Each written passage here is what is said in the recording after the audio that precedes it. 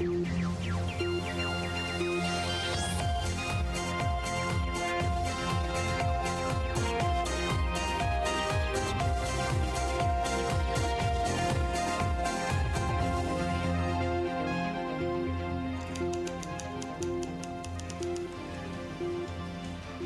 Hello there, very good Tuesday evening and welcome to Primetime News. We're coming to you live and direct this evening from our newspaper studios in Colombo. I'm Joel Outscoon. Well, on one of our top headline stories this evening, Minister of Transport and Civil Aviation Nimal Siripala de Silva says the Palali airport will not be given to India for development purposes. Well, that is one headline, but we have many more for you. Let's take a look. Development of Palali Airport to State-owned Airport Authority of India. MPs received strict warning from the Speaker. Accusations of murder conspiracies stirs Parliament. Minister supporting the 20th Amendment bribed. An expose by Sarath Veerasekara. Inspector Neomal Rangajeewa and Prisons Commissioner Emil Ranjan further remanded.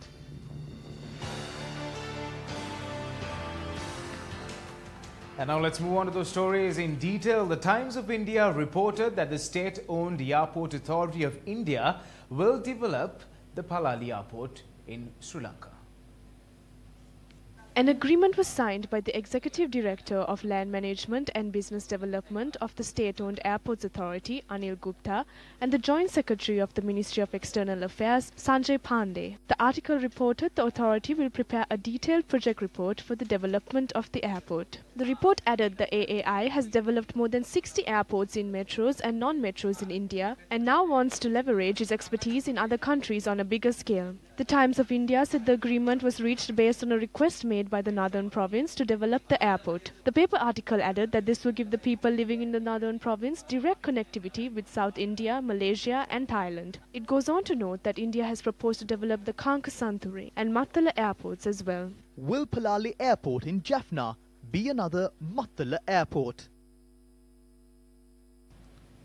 Well, let's shift our attention to news from Parliament now. The Speaker of Parliament, Karu Jayasuriya, commenced the parliamentary proceedings today with a stern warning to all parliamentarians. Let's take a look. I must note, you the MPs are very much aware that a massive amount is being spent on a single parliamentary sitting. It is unfortunate to note the lack of quorum had led to situations where Parliament could not function at crucial moments. I wish to stress it is the constitutional duty of all MPs from the government and the opposition to ensure that there is quorum. I request such unfortunate situations be averted. As per the standing orders, when oral questions are raised, the minister should be in parliament when it is raised at least on the third occasion. If the minister is not present, the non-cabinet minister or the deputy must provide a response to that question. I also request for the questions to be posed on time to be answered. Well, the United National Party was defeated in the local government elections while in power. Later, the Ruwan Wijewardene Committee was appointed to present proposals to divert the party back to the path towards victory. Were steps taken to implement the recommendations put forward by the committee? News First takes a closer look. The report was put forward by the 17-member committee headed by State Minister of Defence Ruwan Wijewardene. The following are the recommendations presented in March 2018 at the Temple Trees. The first recommendation presented by the committee was that the party constitution should be more democratic. The report went on to say that an election for the party leadership should be allowed through the party constitution after a presidential election or a general election concludes. Another main recommendation presented through the report was to appoint more efficient leaders to the posts of chairman of the party, general secretary, national coordinator and other senior posts of the party. It further recommends that a strong restructuring needs to take place and the leadership of the party should be appointed while respecting the mandate of the people. Another recommendation was to empower the deputy leader of the party through the party constitution to build up the support for the party by going around the country. It was recommended that any member of the United National Party should be allowed to directly coordinate with the post of party general secretary and to appoint a MP who is currently in Parliament. That MP would come in through the national list at a future election as per the report's recommendations. We requested that the Ruwan Wijewardene committee report be enacted and for talented young leaders to be appointed to the senior positions in the party. We are all of the same stance. We need the restructuring. Yes, the Prime Minister agreed to it. In addition to that, he agreed to change the constitution of the party in a manner that it suits the present time, taking into consideration the grassroots level politics. I presented the recommendations that all the positions in the party should be decided after a vote based on the likes and the dislikes of the working committee. He pointed out the requirements to amend the party constitution for that purpose. We believe that it will be done. If it comes to a place where leaders are appointed through other means, we will not remain silent and we will have to make political decisions. Though the backbenchers of the party spoke in this manner, they too are silent at present. Then the United National Party leader, Ranil Wickremesinghe, whenever there is a crisis, he comes out and what he does is appoint a committee. Now we saw in the central bank bond the Pitipena commission that was appointed. What happened? Nothing. Right throughout this leadership, commissions and committees are appointed, but nothing has up to today come out of these commissions. Then when it came to the leadership crisis in the United National Party, he again appointed Ruwan Wijewardene committee. The Ruwan Wijewardene committee also gave their recommendation. What happened to that? Nothing. Then you saw the um, uh, no confidence against the prime minister. We saw the young MP shouting, screaming, coming out from temple trees like Rajavaru, like kings they were walking, and they come up to the uh, gate of uh, temple trees and say, "We are not giving up our struggle. We will anyhow ensure that the leadership has a change. We will do that and only turn back." But time and again we saw all the young MPs been looked after so well that they have made up their mind to allow Mr. Wickremesinghe to continue till 2030 as the leader of the UNP. Although there were several good recommendations in the Vijay Committee report, what transpired was Minister Akila Viraj being appointed as the General Secretary of the UNP. එක්සත් ජාතික පක්ෂ ව්‍යවස්ථාවේ මහලේකම් පදවිය සහ බාණ්ඩාගාරය පදවිය යන තනතුරු දෙක අ, පූර්ණකාලීනව It was decided that the post of party general secretary, the treasurer, should be appointed full time through the constitution amendment that was done in 2000. I recall Gamini Atukorale was the party general secretary back in the day. There was a requirement from the party as well as the leader to appoint the general secretary as a full time position. It was decided that he or she who is appointed will not hold political positions. It was changed in 2000 because Ranil Wickremesinghe took a decision that this will not be given to a parliamentarian. With the 2004 general election and when there were struggles from within the party against Prime Minister Ranil Wickremesinghe, it was decided to make certain changes in the party positions. That change was K.M. Veragoda being appointed as the General Secretary instead of Mrs. Senrat Kapukotua. A new Deputy General Secretary position was created. I was appointed as the first Deputy Secretary. I was handed over the political activities because the full-time General Secretary was someone who did not engage in political activities. There were struggles from within the party again by 2006. Those arose because there was an opinion that the General Secretary should engage in political activities. I became the full-time General Secretary of the party in 2006.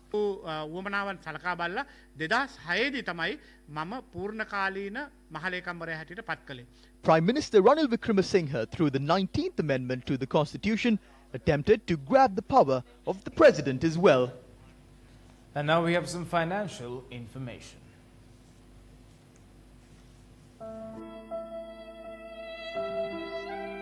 It is our sad duty to report that the exchange rate has further depreciated.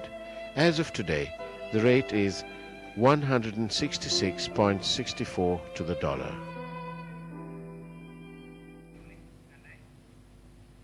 Indeed, a sad situation there with the depreciation coming into play. Moving on with more stories. Now, former Prisons Commissioner Emil Ranjan Lamahewa and IP Neomal Rangajeewa from the Police Narcotic Bureau, who were arrested over the killing of 27 inmates and prisoners during the 2012 Welikada prison riot, were further remanded until the 2nd of October.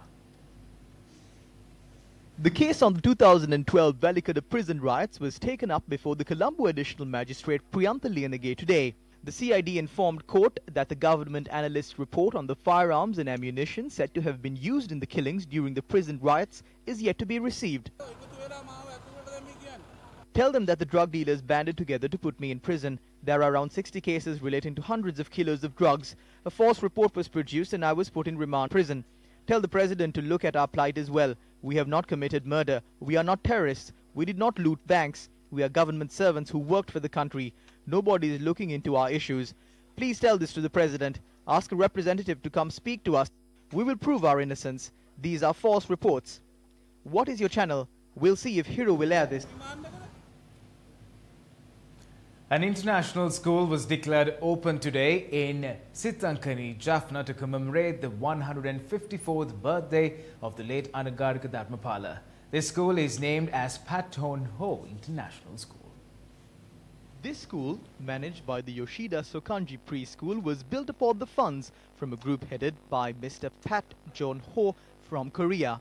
The chairman of the Sri Lanka Mahabodhi Association, Venerable Banagala Upatissa Thera, the Minister of Education in the Tamil Nadu district, K.A. Senkothian, and the State Minister of Education in the Tamil Nadu district, V. Radhakrishna, and the commanding officer of Jaffna, Major General Darshana Hettiarachchi, graced this occasion. The intaking of students into the school was done by the State Minister of Education of Tamil Nadu, V. Radhakrishna.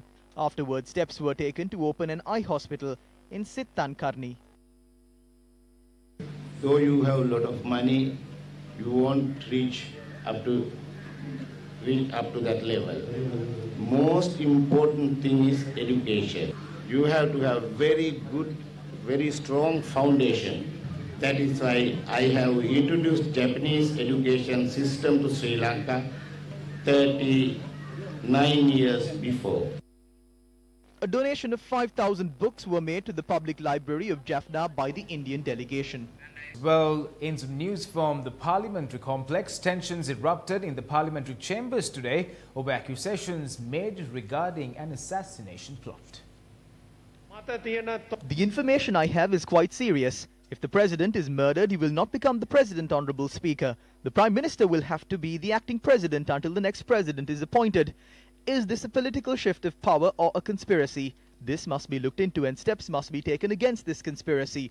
The situation is such that this is considered very likely.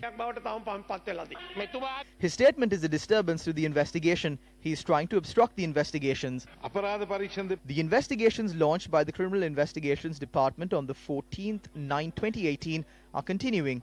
Facts are reported to the Fort Magistrate Court on the 17th 9 2018.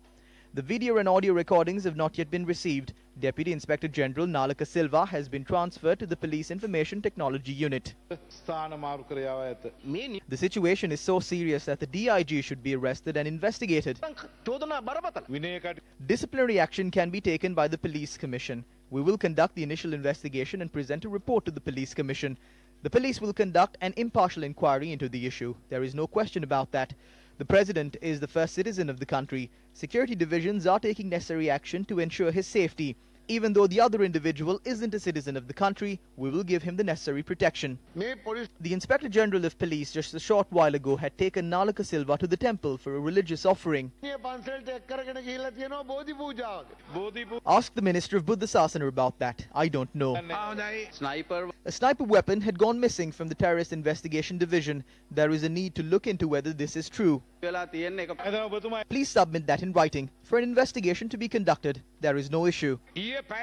A statement was recorded from an officer named Namal for 10 hours yesterday. There is an attempt to hide him, to send him overseas please provide him with police protection. If the relevant individual is requesting for protection according to the complaint, we are ready to provide security. A similar accusation was leveled at the former central bank governor, but after the accusations were made, his passport wasn't even barred. At the time, we requested that his passport be barred and an investigation be held. See, we will inform the relevant individuals regarding that. The Prime Minister is in the chamber. During any other debate, he jumps up and entertains us with jokes. Can the Prime Minister give an answer now? I have spoken about the law. I thank them on the interest that they have shown regarding our President. When he became the presidential candidate and his security was being removed, who here spoke regarding that? Did you not feel the pain then? As I came to Sri Lanka, I asked the Inspector General to look into this. The President has asked for a report on the steps that should be taken after the inquiry. Until then, if Gotabaya Rajapaksa thinks that there is a threat to his life, he can request for protection. Honorable Speaker, the Deputy Inspector General connected to this incident should be suspended and arrested. Also, Honorable Speaker, we as members of Parliament are not satisfied with the conduct of the Inspector General of Police. Well, Dr. Jayampathy Wickramaratne says he will support the 20th Amendment to the Constitution put forward by the Janata Vimukti Peramuna. He made this statement during a media briefing held at the party headquarters.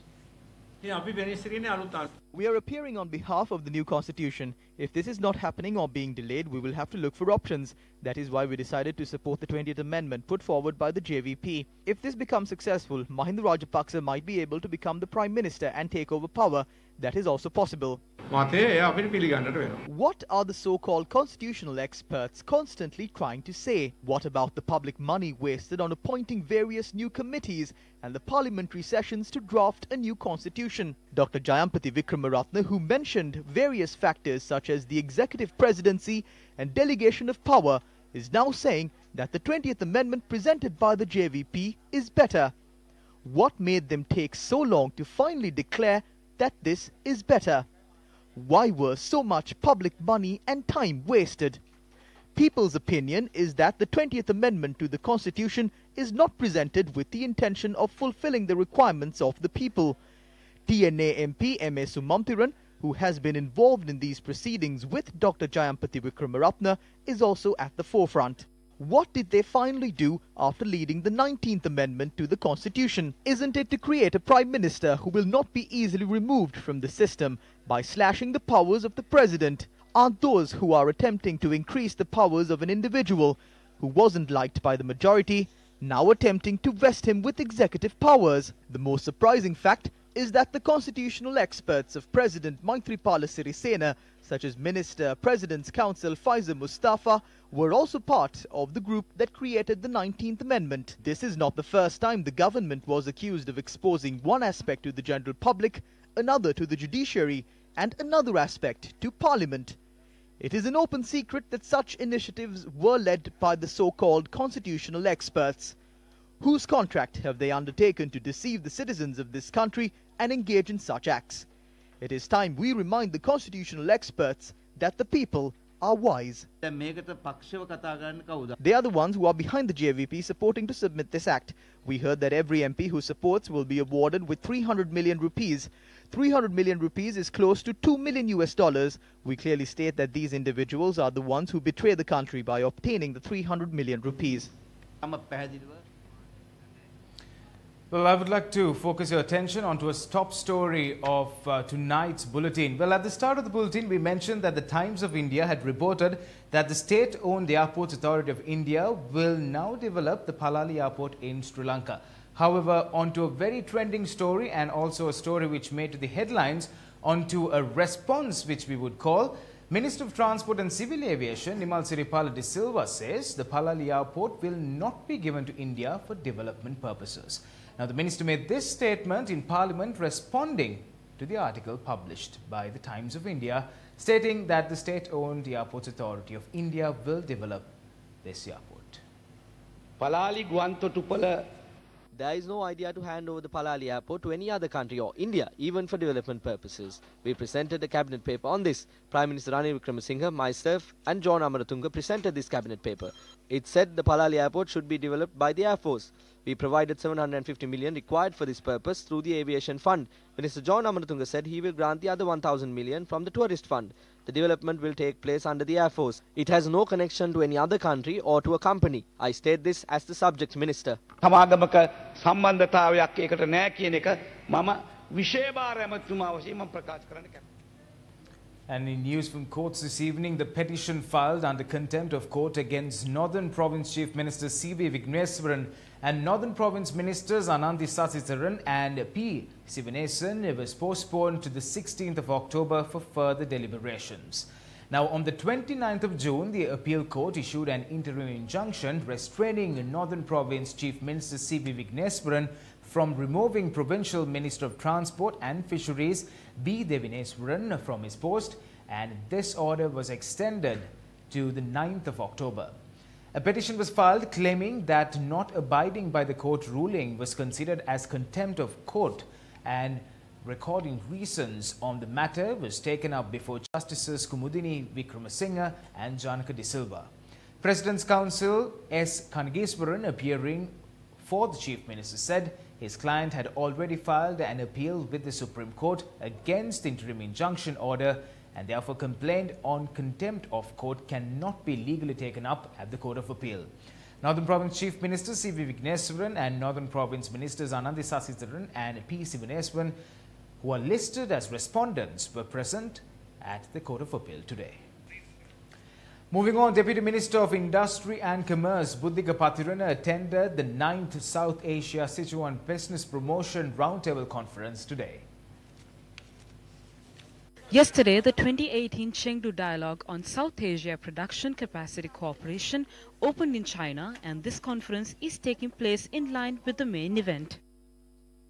I firmly believe that forum of this nature would create a more opportunities to promote greater cross-border investments, facilitate an expansion of South Asian export, export in the Chinese market, also serve as a channel for South China, South Asia economic integration. Potential for trade expansion between China and SAARC is enormous. We have to continue our effort tirelessly to enhance the volume and uh, value of trade between us. Well, on to a very sad story this evening. Now, four elephants were killed in a train collision this morning. What's more saddening is that among the dead elephants was an unborn 18-month-old calf.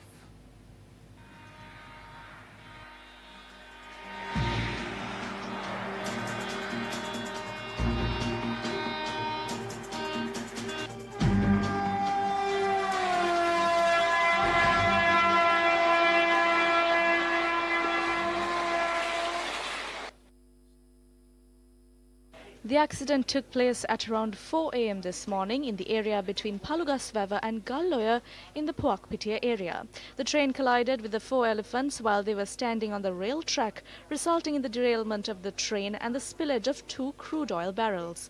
The Operation and Control Center of the Railways Department stated the train services to Batticaloa were hindered due to this accident. The train service from Fort to Batticaloa has been limited to Mahavatta, while the train service from Batticaloa to Fort has been limited to Galloja. According to our correspondent, this area has been identified as an elephant pass when commuting from Hurulu Eco Park to Thimbukulama National Park.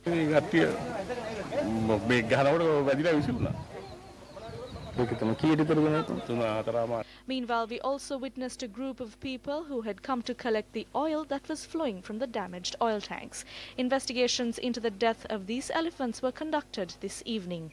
During an inquiry, Wildlife Director General MGC Surya Bandara stated that 4% of total elephant deaths are due to train accidents. According to him, during the recent past, nearly 10 elephants died from train accidents, while nearly 150 elephant deaths have been reported during the past few months. On the first of last month, seven on the first of last month, seven dead elephants who had drowned in a mud hole in the Periyaru River in the Somawathiya National Park of Polonnaruwa were discovered.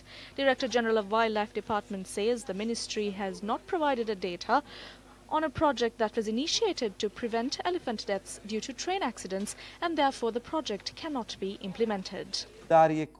Appoint a wildlife officer at night. Officers are only appointed for passenger trains and not for trains that transport fuel. Elephants cannot identify whether the train is transporting passengers or petrol. It is one of these trains that knocks down the elephant. During these two weeks, nearly 20 elephants have been killed. There are nearly 10 to 12 places like this that pose such danger. We have to protect wild elephants.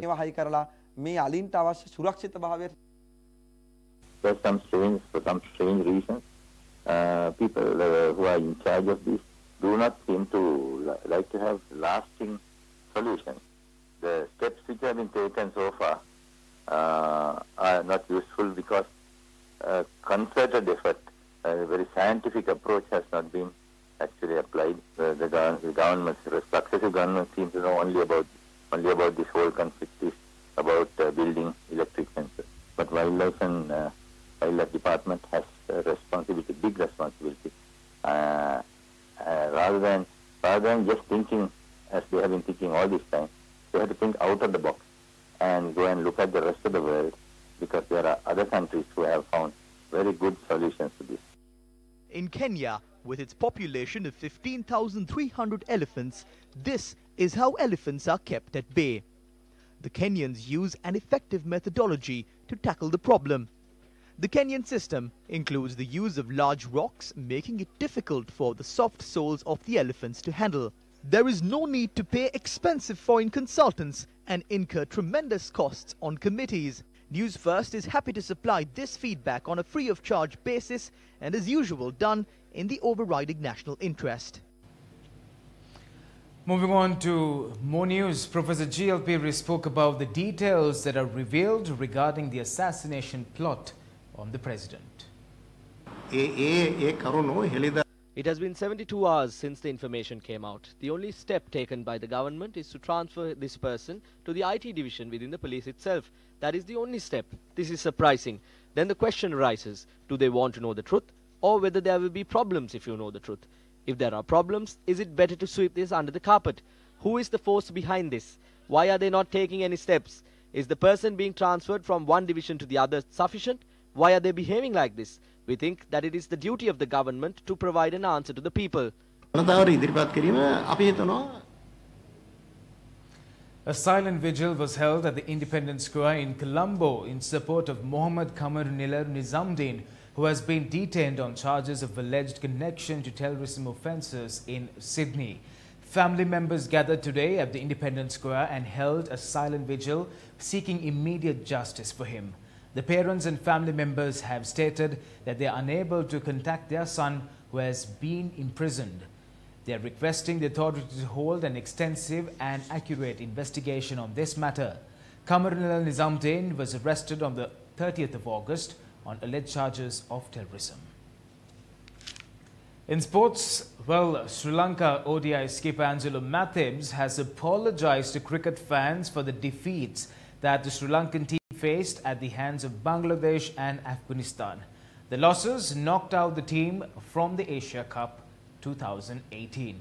Well, the complete cut of Angelo Mathews as to his sorrows being expressed to all Sri Lankans on this tragic defeat and much more of the story follows on our award-winning website that is www.newsfirst.lk. On that note, we wrap the news. Thank you for stopping by. I'm Joel Outspoon. Good night.